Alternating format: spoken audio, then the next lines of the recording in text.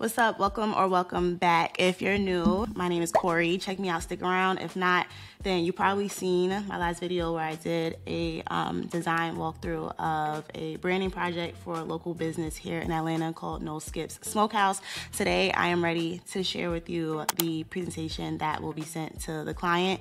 For context, this is more of a brainstorm presentation or a pitch, for lack of a better term, rather than it being a brand guide. This client's a little little bit different because this whole thing was part of a separate project, but I reached out to them to send them recommendations for their business. They are fairly new um, and they were open to it. And so I present this to them and they pick and choose what they would like to use or not. But I am providing everything to them for their use for free. So this, um, document is basically a walkthrough of the ideas that I've come up with after we had an in-person discovery session some time ago.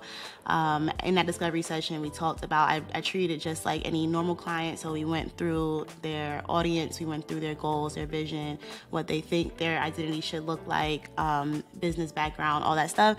And so this is basically what I came up with. You've seen a lot of this in the last video and you've seen how, how I came up with it in the last video. But for this video, we're showing how I present these ideas to them. This deck itself, I made this one in Keynote when I'm presenting ideas or pitching. Keynote is just faster to dump my ideas into. When it comes to sending actual design work or like final files and things like that, I make presentations wherever I see fit. It could be Keynote, it could be uh, Figma, it could be InDesign, just whatever I'm feeling that day. This one was made in Keynote. So of course we start with a cover page. This is a 27 page document. I didn't even know it was that long.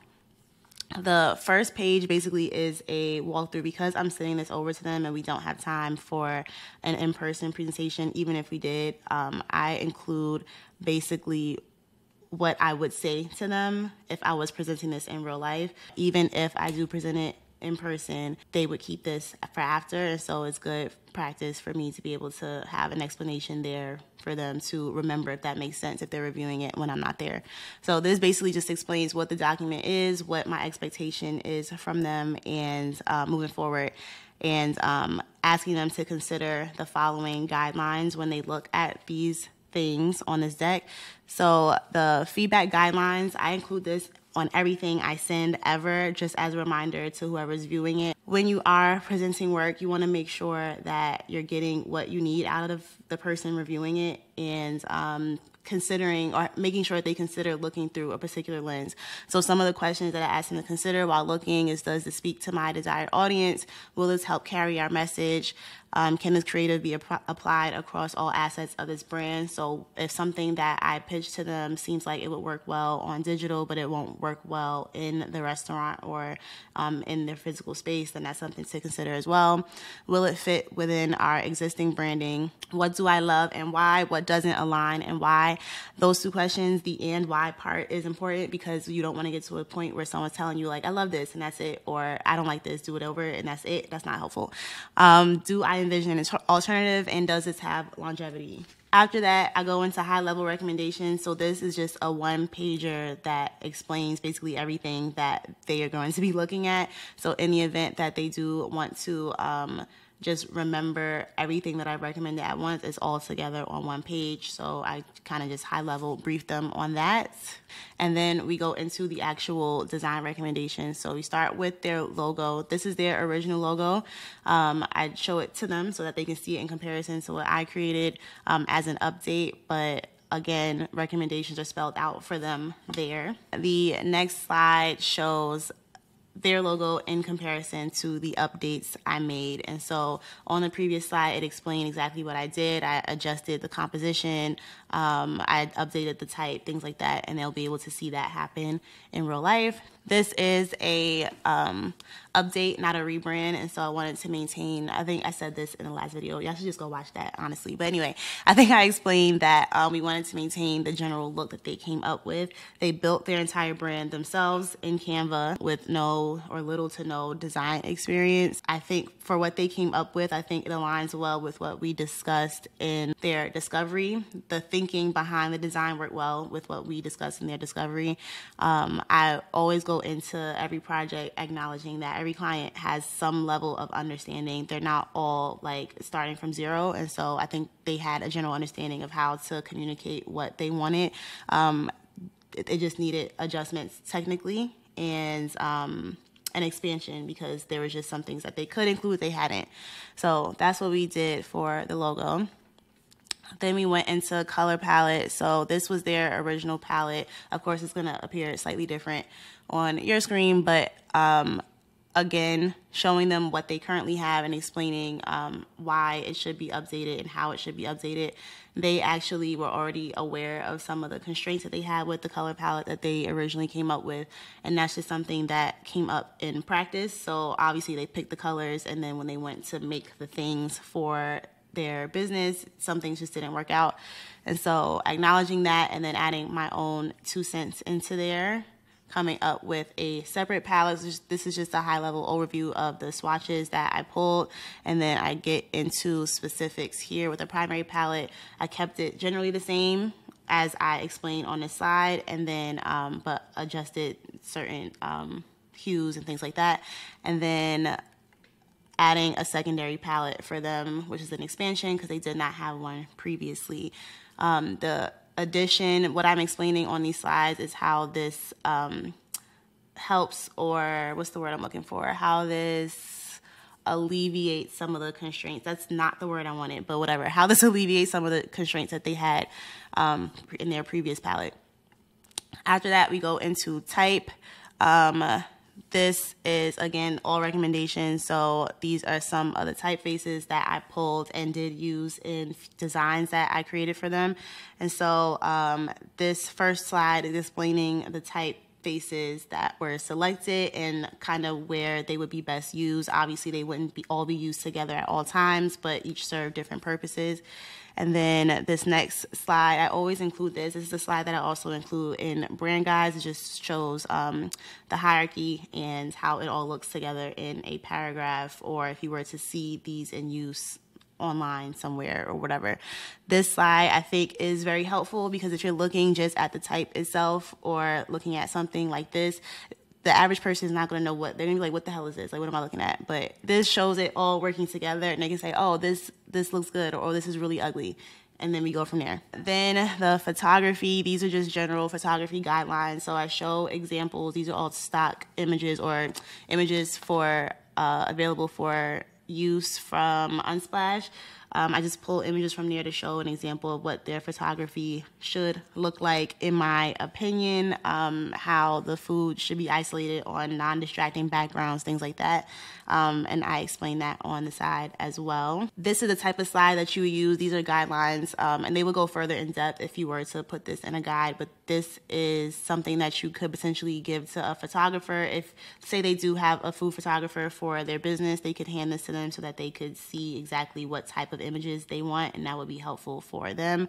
It maintains consistency. If they hired one photographer today and another one in three months, the images should generally look the same because of this then social media. So I started out with a mood board so they could see where I pulled my inspiration from for their um, their digital assets.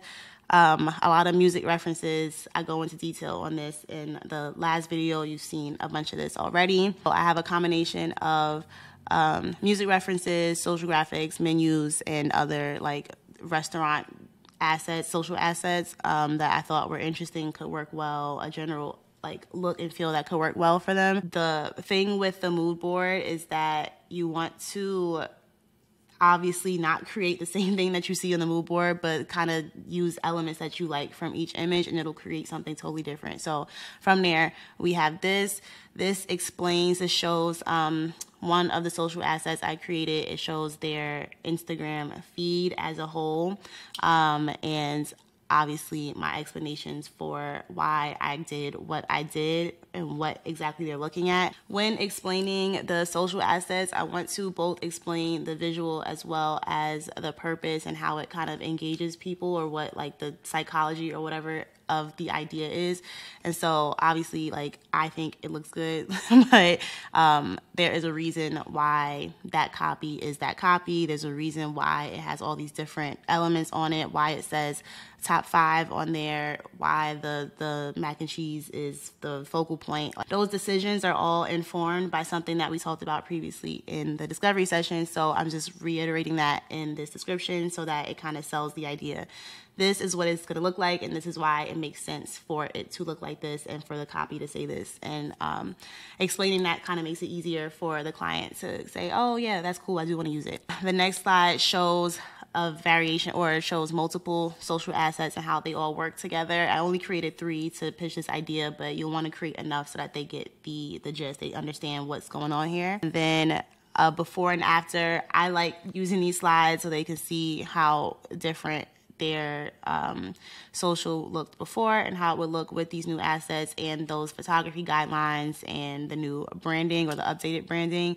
Um, as you can see, they're not super far off, um, which is a good thing because it's just a cleaner refresh and something that they would likely be more willing to move into versus me delivering something that was completely different, a full rebrand after they already expressed that they wanted to maintain their original integrity and look. Same thing here, just showing the before and after in a more um, realistic setting.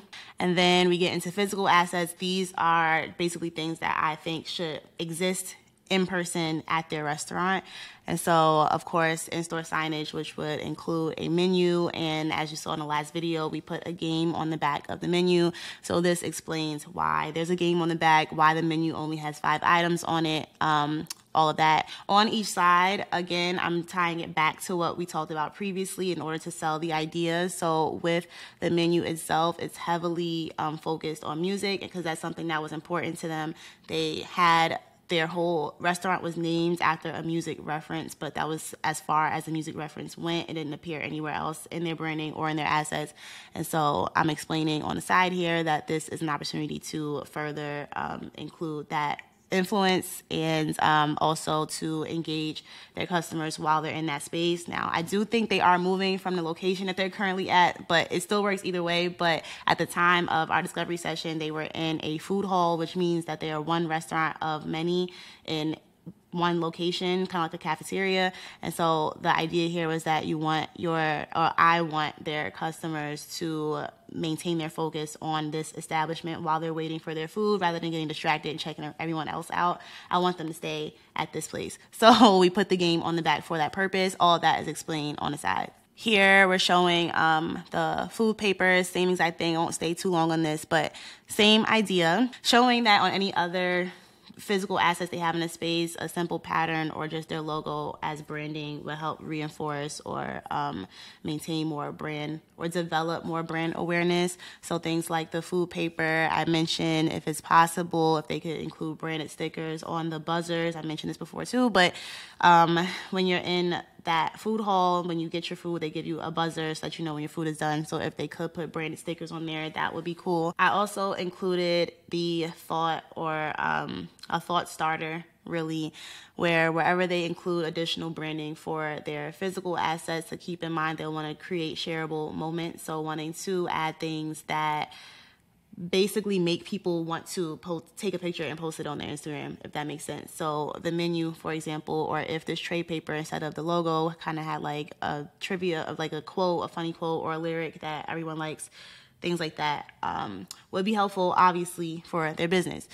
And I think that was the end of the deck. So what I do from here, I send this off to the client um, and I still give a little spiel in the email itself and I offer them the opportunity to talk in person about it if they are available. But these are busy people and this wasn't a full investment on their part. So understandably, they may just look at this on their own. So I make sure that I include everything that I want to say in the email if it's not in this deck already. And then we wait to hear back.